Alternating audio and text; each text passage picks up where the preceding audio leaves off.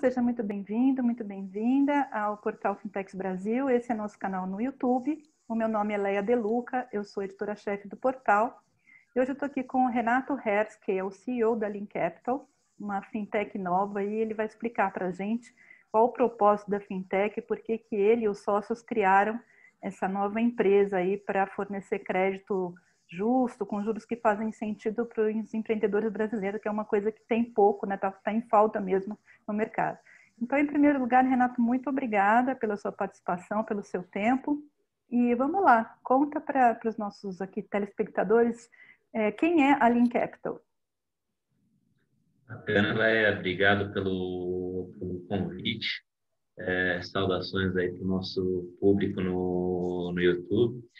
É, a Lean Capital ela surgiu para trazer para o empreendedor e para o empresário brasileiro juros que fazem sentido. E juros que fazem sentido para o empresário e não para os bancos que estão concedendo esse, esse crédito. Ela é, é fruto aí da, da, da minha paixão é, por finanças e da frustração é, do empreendedor brasileiro acessando o mercado de dívida corporativa tempo que eu vim do lado negro da força, passei muito tempo trabalhando em, em finanças, eu passei por auditoria, por M&A, fui analista e gestor de fundos de investimentos e tive também do outro lado da mesa. E, e, e vi o quão é, duro, é, penosa e, e, árdua é a, a, caminhada do empreendedor é, buscando crescer um negócio no Brasil e acessando o mercado de, de Certo, Renata, me conta então como é que você faz isso funcionar na prática, né? O que, que você usa para fazer essa análise é, que gere essas ofertas de crédito com juros que fazem sentido é, e como é que vai ser a distribuição disso? Quem são? Quem está com você nessa jornada? Vamos lá. A nossa estratégia aqui ela é baseada em três pilares principais. É, o primeiro pilar é tecnologia, o segundo pilar é originação e o terceiro pilar é o mercado de capitais. É, tecnologia para quê? É, tecnologia para o embarque é, do cliente, para o embarque da, da empresa e para análise é, de forma rápida e, e assertiva. É, a gente acredita que é, no mundo que a gente vive hoje, as informações que você precisa para fazer uma análise de crédito assertiva, elas já estão disponíveis em alguma base de dados. Eu acho que é, é o único momento que você vai ver alguém agradecendo ao fisco brasileiro é nessa sistematização de, de dados. Com, com o advento da nota fiscal eletrônica e do, do SPED fiscal, é, a gente consegue ter todas as informações necessárias para a análise de uma empresa já num de, de, de, determinado formato. Então, é, a gente está investindo muito aqui, a gente tem uma equipe já de, de 12 pessoas na área de tecnologia. É, é, o nosso CTO, o, o Hector, o Tico, é, ele tem um arquiteto, tem quatro duplas de front-end e back-end, tem um desenvolvedor mobile tem um cientista de dados já na, na equipe. E essa equipe está trabalhando no quê? Ela está trabalhando é, é, nessa metodologia para captura e análise de informações já disponíveis em, outra, em outras bases de dados. Então, o que a gente quer? A gente quer reduzir aquele fluxo de e-mails e, e, e documentos em PDF, assinaturas físicas, e fazer isso de uma forma rápida e assertiva. Então, o primeiro bloco é tecnologia, mas, no entanto, a gente não, não, não acredita que é, a máquina substitui o homem. Né? A máquina é uma ferramenta para o homem. Então, quando a gente pensa no segundo bloco estratégico, que é a originação, a gente o canal ele é muito importante. Eu, como é que a gente está pensando o canal aqui? A originação dessas oportunidades, a, a originação dessas empresas. É, é uma estratégia multicanal, é, onde a gente vai ter o inbound, que é o, o a geração é, de leads aí no, no, no, mar aberto da internet, a gente acredita nisso. A gente vai ter o outbound também, a gente vai ter uma força de, de, de vendas é, interna, mas a, a, nossa grande aposta aqui é, é, no que a gente chamou do agente K. O que, que é o agente K?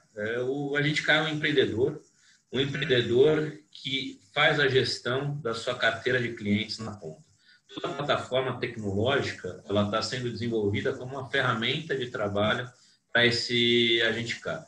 E o agente K é, ele é responsável por originar a, a operação e também por acompanhar o ciclo de vida daquela operação. Ele é, é, ele é remunerado tanto na originação, quanto na cobrança, quanto na conclusão da operação. Então, é, esse canal aqui é muito importante. E tem o quarto, quarto canal, que são os parceiros de originação. Existem outras uh, empresas de serviços B2B que podem ter uma complementaridade. Então, uhum. esse aqui é o bloco da estratégia.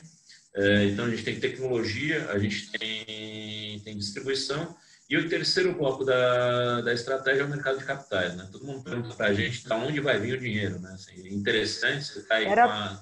Era exatamente é. essa pergunta que eu ia fazer agora, Renato. Então, onde vem o dinheiro? É, é, super interessante. Né? Assim, a gente pega assim, grandes números.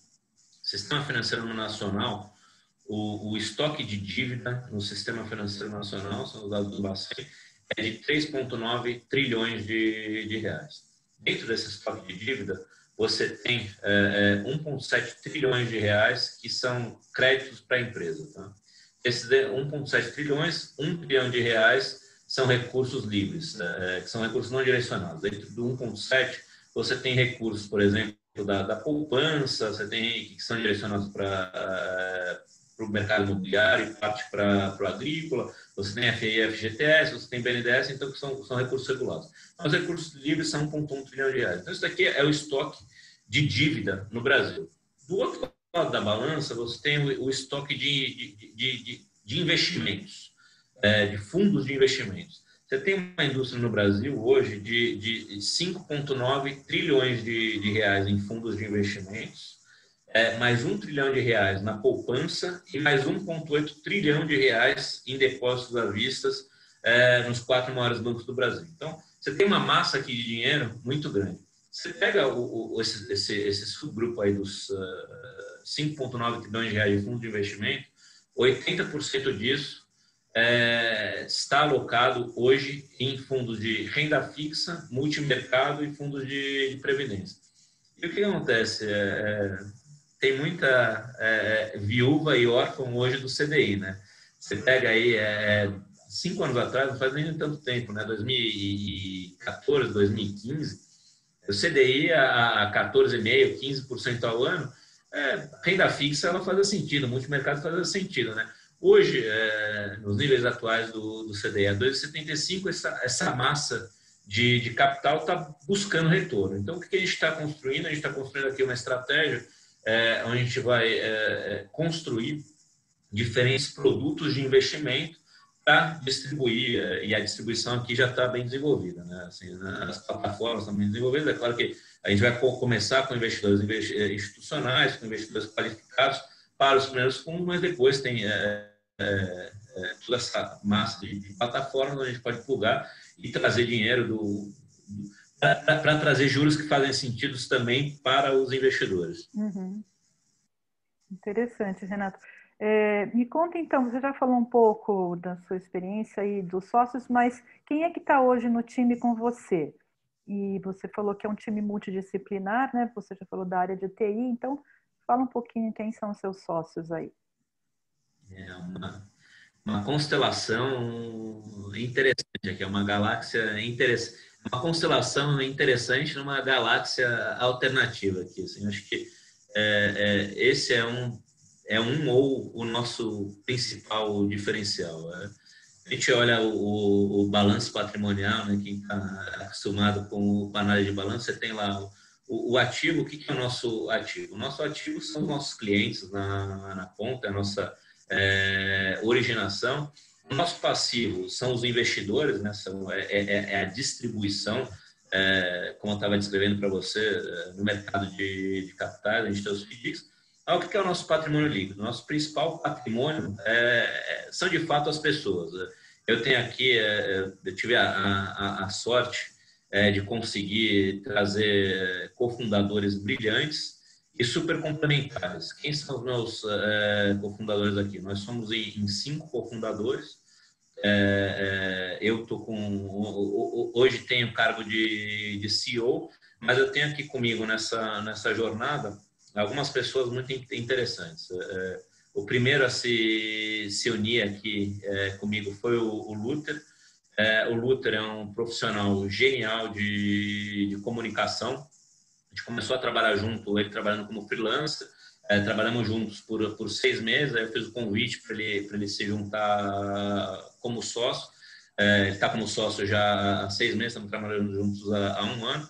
O Luther tem duas grandes uh, missões. Ele é um cara uh, super experiente na, na, na, comunicação, é, teve representando o Brasil em Cannes é, na, na, comunicação. Ele tem duas grandes missões. Uma missão é, é, a parte de experiência do usuário. A gente precisa ter uma plataforma é, que, que, que, que, que entregue tanto para o cliente final quanto para o agente K uma experiência de usuário que, que seja é, é, muito agradável e inclusiva, assim, que, que abraça o cliente. Então, ele tem essa grande missão, o Luther. E a outra grande missão que o, que o Luther tem é, é a comunicação tradicional, é colocar a nossa palavra na, na rua para fomentar a originação de, de, clientes. Então, é, o Luther é o, o outro cofundador. A gente tem aqui como cofundador também o, o Tico, o Hector. É, Tico é, é, é, um profissional, é uma, um ser humano fantástico. É, ele é super experiente, é, é, tem mais de 30 anos de, de experiência no desenvolvimento de, de software. É, tem uma história de, de vida é, super bacana, ele é, ele é, cubano. Ele foi CEO da empresa de desenvolvimento de software é, estatal cubana, teve 4 mil desenvolvedores trabalhando para ele, e acabou vindo aqui para o Brasil devido a, a, a, diversas circunstâncias. Ele trabalhava comigo na, na, na empresa, na minha empresa anterior, que era uma empresa de, de tecnologia agrícola. Então a gente já trabalhava junto. Conversei com os meus é, hoje ex-sócios, é, que ia fazer uma oferta para ele. Eles falaram: ótimo, que ele, a gente não usa aqui o potencial dele, ele é um empreendedor por natureza. Então ele, ele veio e começou a construir a equipe dele. Então falamos do, do Luther, falamos do Tico. Temos aqui também como CEO é, responsável pelas operações o, o Bruno Chiminazo. Uh, Brunão, ele é, é, ele é meu primo do, do, do outro lado do, do Jordão. É, é a gente se conhece já há, há 15 anos. A gente trabalhou junto na Ernest Young, é, quando a gente fazia M&A Advisory. Ele trabalhou, a gente trabalhou junto. É, eu acabei saindo da Ernest para me tornar investidor profissional e ele acabou saindo da Ernest para trabalhar nas investidas de fundos. Ele trabalhou na, na na área financeira de algumas investidas da, da GP Investimentos. E a gente sempre teve uma afinidade muito boa, tentamos fazer outros negócios, sempre conversamos muito sobre negócio. E agora nossas duas linhas do tempo se encontraram, está aqui é, é, construindo o sonho com a gente. E o quarto cofundador, que assim completa o, o, a nossa linha de, de frente aqui, é o Faustinho. É, quem é o Faustinho? Fausto Moraes. É, ele é o, o, o, maluco do, do Itaú BBA, que escutou o maluco da Solinftec que falou que ia fazer um CRAO, Certificado de Restrição do Agronegócio, uma operação de renda fixa, que foi o primeiro contato que eu tive com esse mercado de, de, de crédito privado. A gente começou a trabalhar junto nessa operação em, em, agosto de. A gente, na verdade, começou a trabalhar junto, junto ao redor de abril, maio de 2019. A gente conseguiu fechar essa operação é, em agosto, setembro de, de 2019. E a operação do CRAO da Solinftec foi o gatilho, é, foi ali o momento eureka para montar a, a Capital. Então, o DNA do Faustinho está aqui na Lean Capital desde o do início. A gente vem conversando a, a respeito da, da, oportunidade desde que a, a, ideia surgiu. E há cerca de um mês e pouco atrás, as nossas linhas do tempo se encontraram. Ele, ele topou e veio aqui é, ajudar a construir o, o, negócio conosco. Então, essa daqui é a linha de, de frente. A gente já tem um, uma equipe hoje, não sei são 17 ou 18 é, profissionais dedicados é, na operação, que é, hoje ainda muito focado em, em, em tecnologia, em desenvolvimento, é, começando a crescer em, comunicação e além dos é, já são 18, já são 18 aqui, todo dia é, vai adicionando gente, a gente se perde na, nas contas e está sendo acelerado. Então, são 18 pessoas dedicadas, e além das 18 pessoas dedicadas, a gente já tem uma rede de, de, de são 10 agentes K, é, sendo que seis deles têm assim, um, um perfil que é um fit é, perfeito, estão trazendo operações é, tem um encaixe é, perfeito com a nossa estratégia aqui. Então, é, esse aqui é o começo do sonho. Legal, Renato. Para terminar, eu gostaria que você falasse um pouco de uma, uma outra preocupação sua, muito relevante, né? É, sobre. Eu queria que você falasse a relação que a Lean Capital tem em fomentar o capitalismo consciente, né? Então, conta para a gente esse outro pilar aí de vocês. É, isso aqui é, é parte integral da nossa filosofia de vida e da nossa estratégia. Eu, eu acho muito importante todos nós é, aqui é, nesse ambiente, toda a audiência da, da Brasil, de alguma forma, é, tem uma posição de liderança. E, eu acredito que é, melhor forma de exercer a liderança é através do, do exemplo. Eu, eu, acho muito importante trazer o CPF para o CNPJ. Eu, pessoalmente, já tenho cerca de 9 ou 10 anos que é, entre 10% e 20% da minha renda líquida eu, eu dedico a causas que eu, que eu acredito. Sou envolvido com algumas causas é, diferentes, em anos não tão bons, eu dedico 10% da minha renda, e em, em, anos melhores, eu dedico 20% da, da minha renda.